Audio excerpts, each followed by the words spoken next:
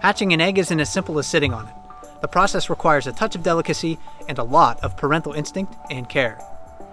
Hi, this is Mike Fitz with Explore.org, and here are five fascinating facts about how birds care for and hatch their eggs. Above all else, a good nesting site provides security for eggs and later for vulnerable hatchlings. Birds lay their eggs in a variety of places, everywhere from intricately woven nests of down and spider silk, to burrows and tree cavities, to bare scrapes on beach sand, or simply on an exposed rock ledge. One group of birds, the megapodes, even lay their eggs in mounds of decaying vegetation.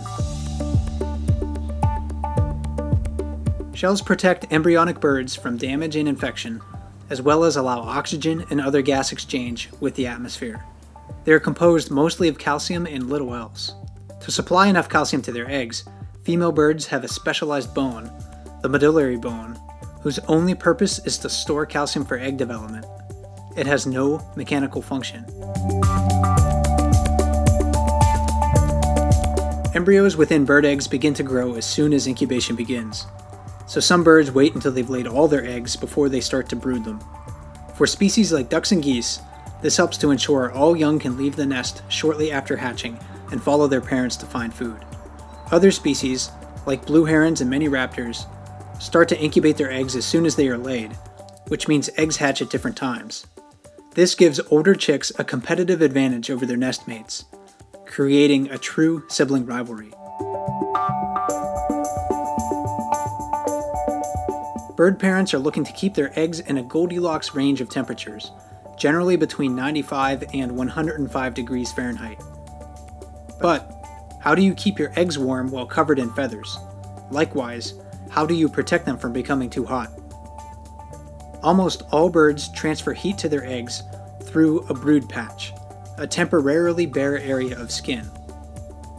Brood patches also help the parents sense whether an egg is too hot or too cold.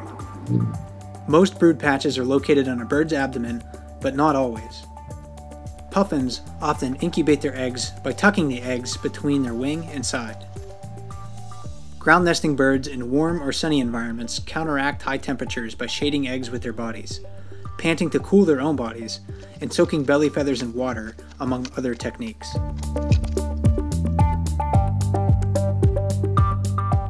Bird eggs need a lot of devotion from their parents, often several weeks of it before they hatch. Birds turn their eggs frequently to help warm them more evenly and prevent membranes from sticking to the inside of the shell. In general, larger birds and larger eggs have longer incubation periods than smaller eggs.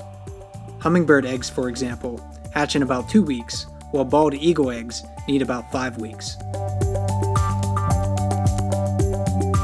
Bird eggs are self contained life support systems, but they can't survive without the help of an attentive parent. While many different strategies exist, hatching an egg provides remarkable examples of avian parental instinct and care.